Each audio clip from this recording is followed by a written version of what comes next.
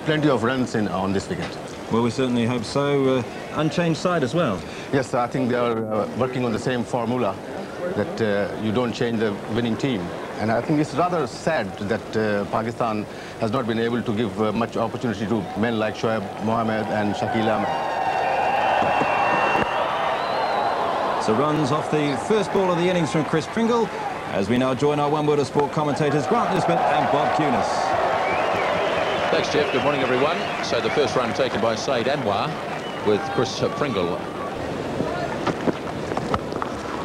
off the back foot. What a lovely shot. He just strokes that uh, Sohail and finds the gap out there and it goes away for four. And Sohail gets hold of that first ball. Larsen nearly six from the first ball that he's bowled. Well, Aamer Sohail said, thank you very much, and thumps his fifth boundary. Yes, uh, of the two, Sohail is the one who is timing the ball on this wicket. Uh, he has played some good shots on the offside, and that one more shot and on the leg stump, and Sohail right across with the middle of the bat uh, pulls it around the corner.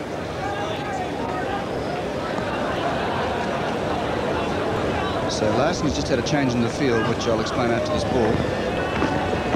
Oh, Sohail having a real flick at it, and Blain's got that. So Larsen has the wicket with his second ball. Sohail committed suicide, and Tony Blain, who's not had a great morning, will be much relieved by that.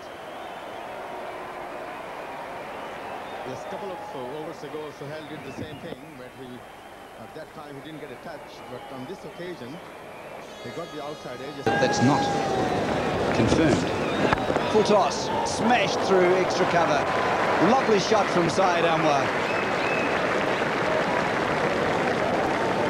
Can't do much about it, Ken. Stoner, this is an adjustment in the field, putting a man out to square leg. He got a nick on that and he's on his way. Larsen has a second wicket, Blain a second catch, and Pakistan are 59 for two.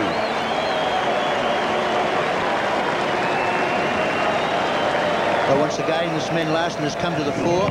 Just a little bit of a way swing, of moving the ball across the left-hander. Oh, he's hit that high in the air. Bryan Young takes the catch, puts it in the pocket, and Inzamam is on his way. Well, it's the kiss of death, isn't it, when you say that he's patient. well, all of a sudden he comes down the wicket to Gavin Larsen to try and hit him back over his head. Got under it, straight up in the air. Fairly straightforward catch at the end of the day.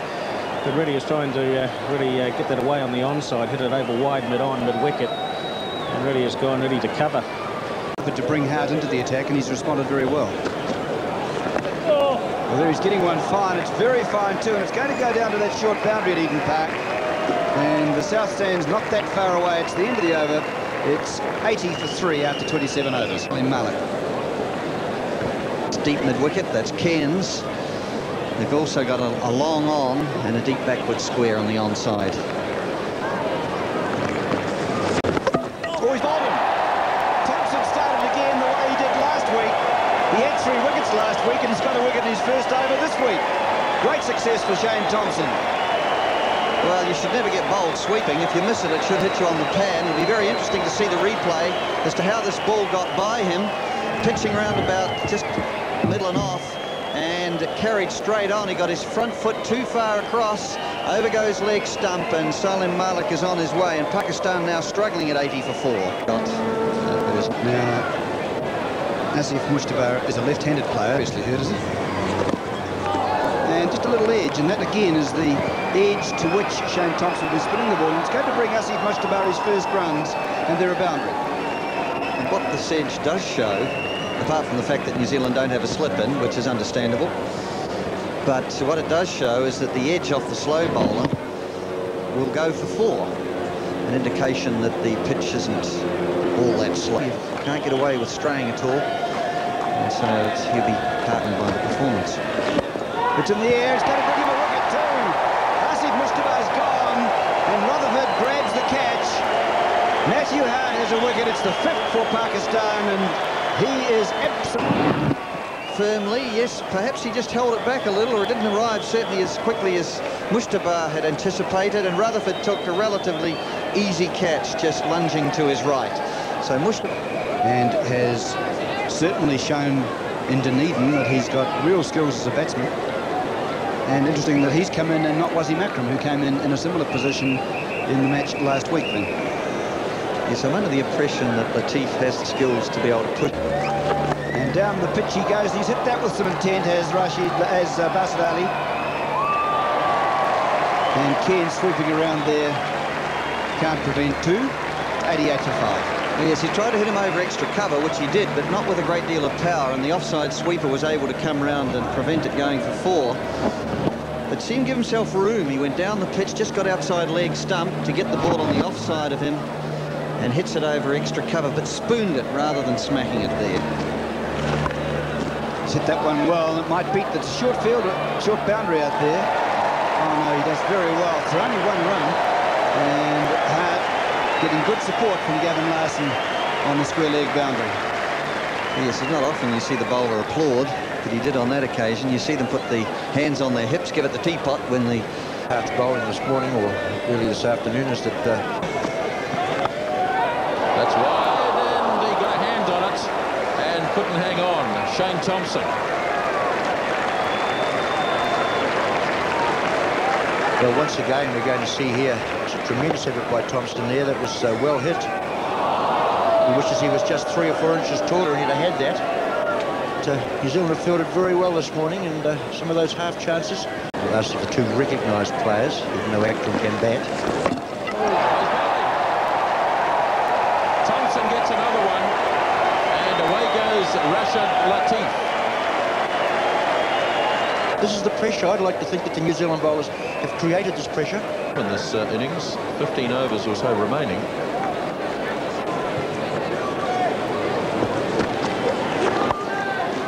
Basit Ali swings this time through mid-wicket or square leg. And Gavin Larsen out there once again does some good fielding and two runs.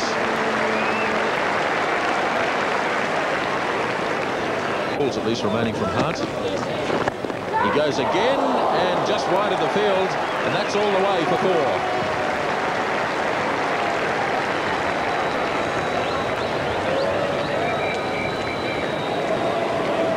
We're seeing here. Just a little guilty of being a little wide there, giving Basit Ali room. Mind you, it wasn't that far away from Kenny Rutherford.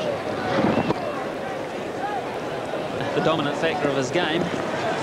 Down he goes. He hits this one all right. So he's put paid to uh, those comments with a very good four over extra cover. Well, Glenn Turner pointed out before quite rightfully that he is a hitter. He's not a worker and has struggle to work the ball around for ones. This is obviously his best, best method of attack, and that's down the wicket and give it everything, and that's a fine shot. Good footwork to the ball and hitting it inside out. This is his seventh over. Down the wicket goes Basit Ali. It's in the air, should be safe. He didn't get hold of it that well, and Andrew Jones down on the deep picks up. Coming back for a third, are they? Yes, they make it.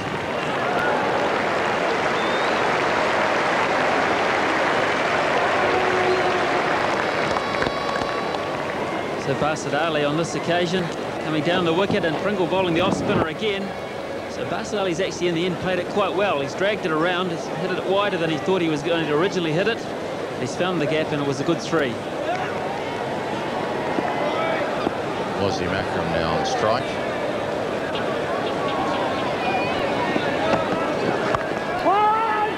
And all this could be tight. He must be run out by a long way, surely. What's going on? Well, he's called for the uh, the third umpire's decision, but Basit Ali knows, and I think we know too, John Morrison, that he's a mile out when this ball hits the stumps. Why he's gone for the third umpire, I don't know. Was it really that close?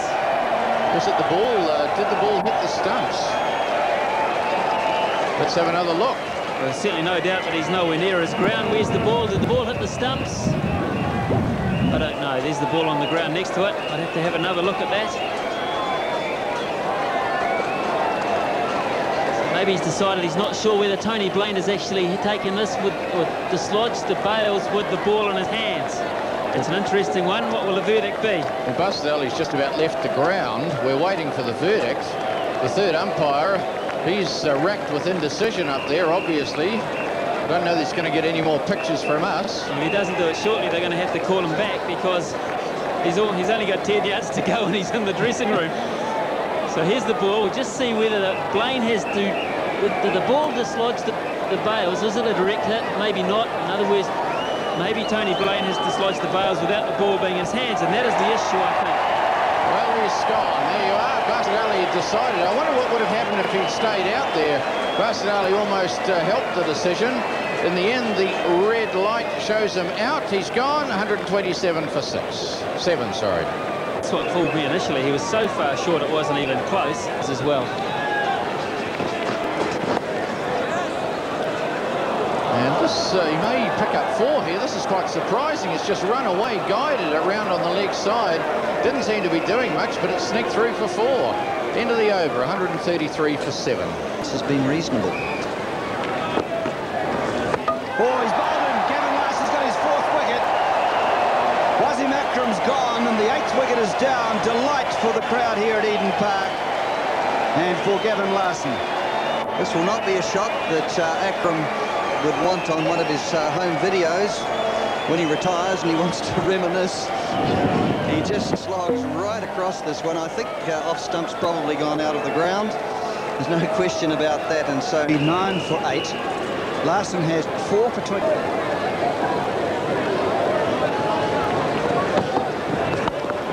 It's in the air and it's caught. It brilliantly caught. Hartland grabs another catch. Pringle has his first wicket and the ninth wicket is down for Pakistan. Waqar Younis goes, what a good catch. Yes, well, Hartland's coming in tight to try and save the single, and he ends up getting a, a, very smart catch here, having to make good progress into the ball and just getting his hands under it. Good rolling catch there, well done by him. And so now Pakistan, ninth wicket goes, that of Waqar Younis at 146.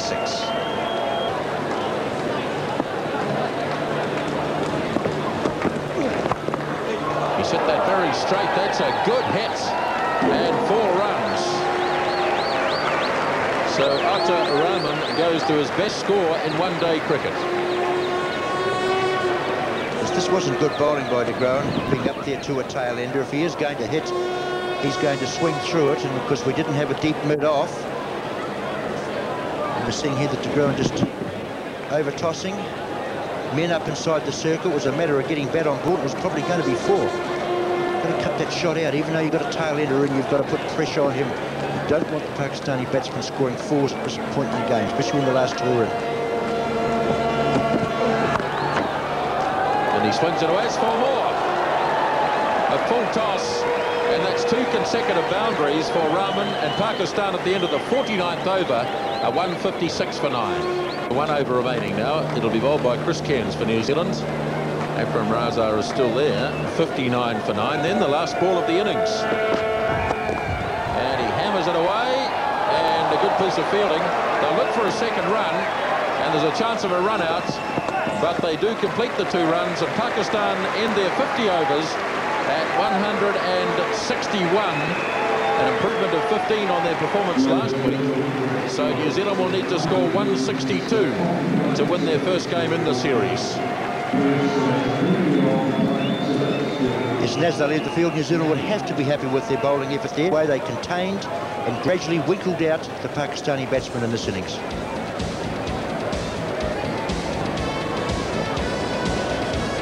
Salim Malik winning the toss and batting at the halfway point. Pakistan was 74 for three. And when Malik went at 80, Pakistan was up against it. Mujtaba and Latif went quickly. At 40 overs, it was 122 for six, at which point Basit Ali was run out for the top score of 34. And the innings never really getting underway. The tail enders left with a lot to do. A similar score to last week when Pakistan made 146 a winning score. And the New Zealand bowlers did the job once again. Gavin Larsen took the top off the innings and showed his value yet again. 4 for 24 off 10, a magnificent effort. Matthew Hart bowled a very good 10-over spell, his first in one-day internationals. Thomson a good spell as well. And a warning for New Zealand's batsmen that they may feign Raza, Sohail and Salim Malik.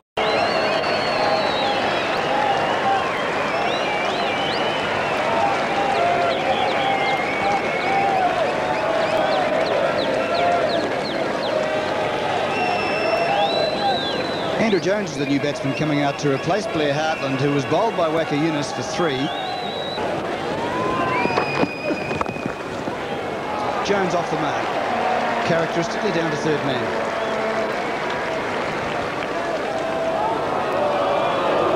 the consensus was that there was far too much grass on the pitch. Ball seemed a bit. So New Zealand needing three and a half and over for the remaining 44 overs.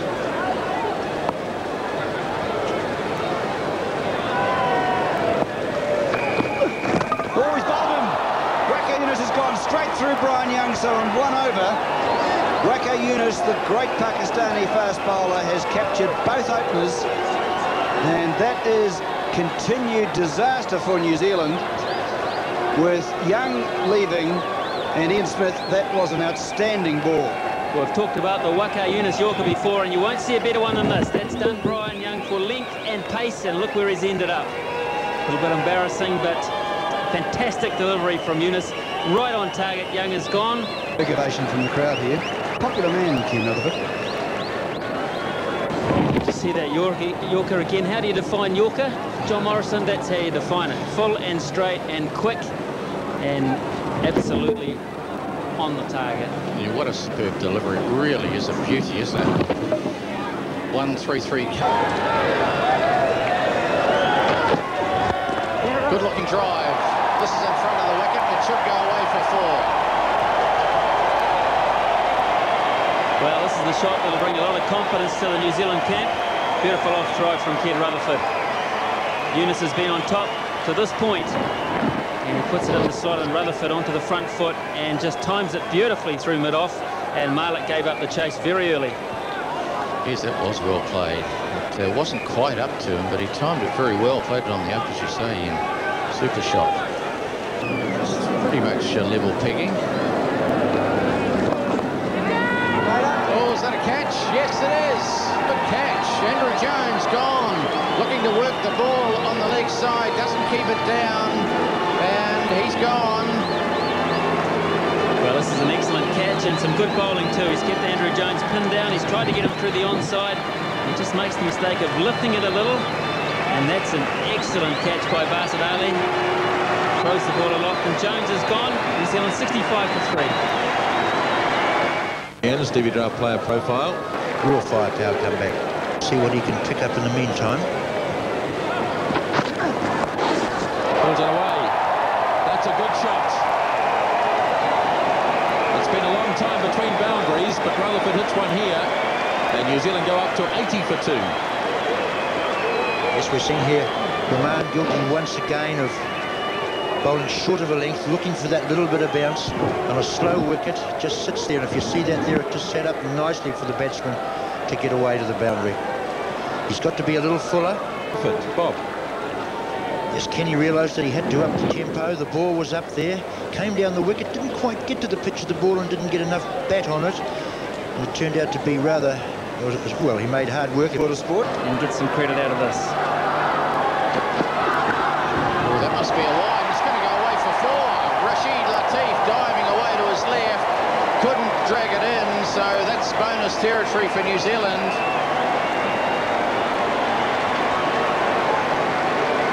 Well, they'll take these ones, I'm sure. It's quick, and it's gone very quickly with the arm as well. A little bit of movement in the air, the in-swinger. Crowd. It's been a long summer, but they're uh, thoroughly enjoying this one.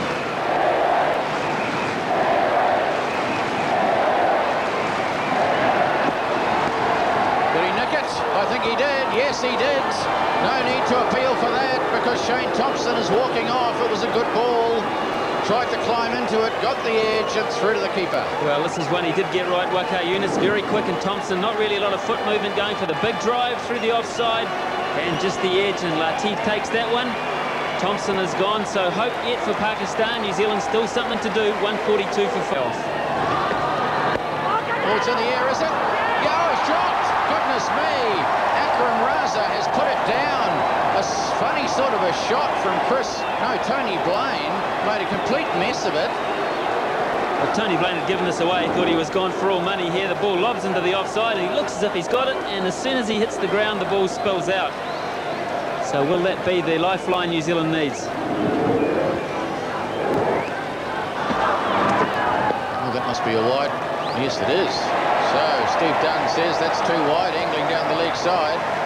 Blain's tried to hit this through the onside and it's got uh, he's got a squared round on it a wee bit and spooned it into the offside. And boy, that should have been taken. Catches like that win your matches. At Eden Park. Was allowed appeal. Now is that out? And yes, it is. Steve Dunne says that's out. There seemed to be some debate as to whether the ball carried through to the keeper.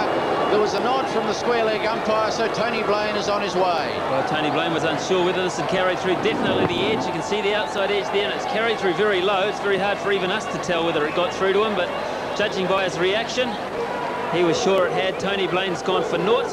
New Zealand now 144 for six. Salim Malik has to find another bowler because he has running with shot. Trying at the stumps. Oh, that'll be close. The New Zealanders want to go and overthrow while they're at it. So they've run two. Now let's see whether it's out or not. Oh, I think it might be. He is. Cairns is run out, so no runs. They completed two. And uh, Chris Cairns is on his way. He can't believe it. But the fact is, he was short. And New Zealand lose another wicket, 152 for seven. Up.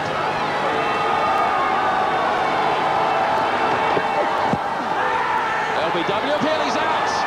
Larsen is out. And New Zealand lose another wicket. Eight wickets down, still 10 runs to get. Well, here's the famous Yorker. Oh, no, it was uh, actually just a little shorter than that, pitched about the crease line, just in front of the crease line. A lot of movement in, started in line. There was no doubt in umpire Cowie's mind. Gavin Larsen was out LBW. Hart drives. Could be four runs. It will be. Well, this is the over we talked about, Grant. It was a beautiful shot there from uh, Hart. Ball was over-tossed, just outside off stump, bowled wide of the crease. Wasn't quite to the pitch bit, but the end result was very effective. Big gaps out there in that field of those sweepers. Well, I think they've still got to keep going for it in this over. Now Younis has four for 28. And he's got those four wickets with two in and over both times.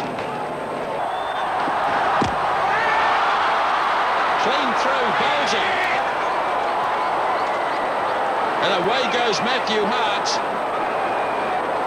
And it'll be up to Richard de Groen and Chris Pringle. Well, that's just here we go in here. This is the uh, score was just beating with pace there. A little bit of a way swing, but uh, beat him with pace.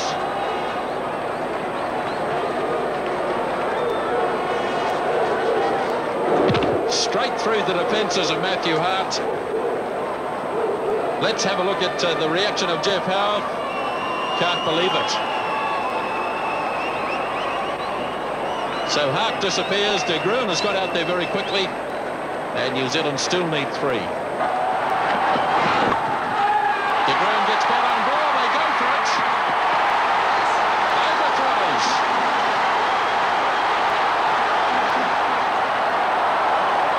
Well, it's all happening out there, Grant, isn't it? The scores are tied. And there's still four balls to go.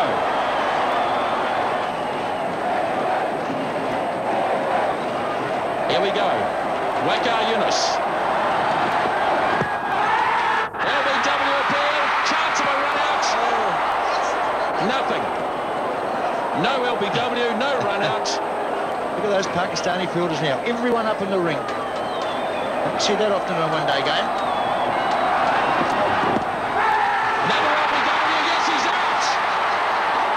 He's got the LBW, the game is tied. Well, what can we say, Grant?